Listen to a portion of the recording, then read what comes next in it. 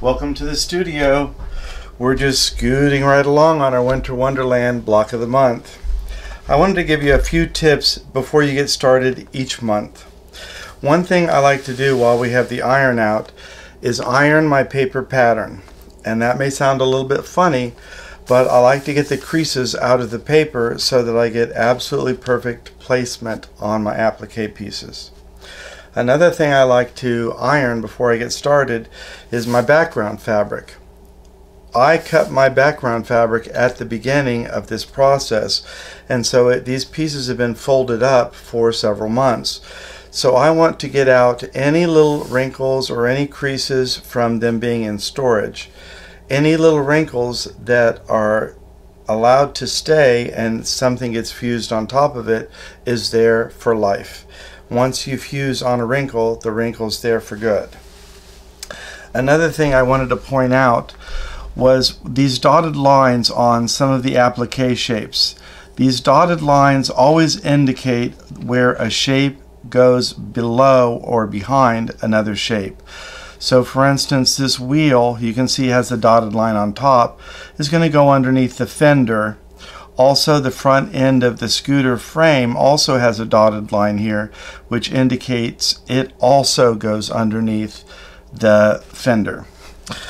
Uh, just for expediency, I have gone ahead and fused some of these other pieces in place so I would have time to explain that without boring you all to death. And I have just this scooter body left to go on.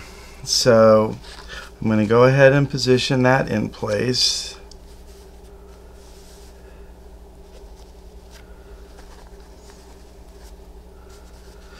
I need to move it up just a little bit.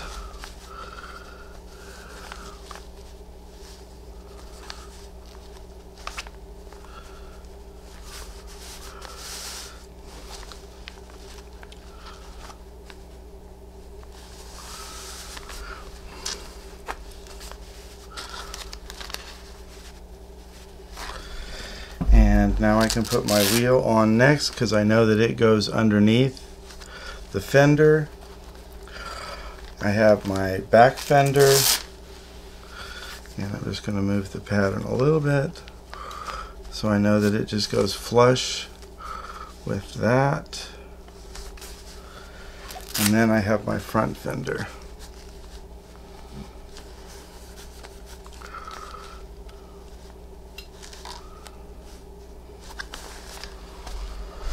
And after I get those last few pieces in place, all I have to do is fuse.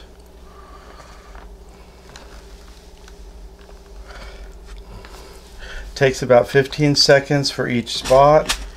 Remember it is steam steamless seam, so it does require steam.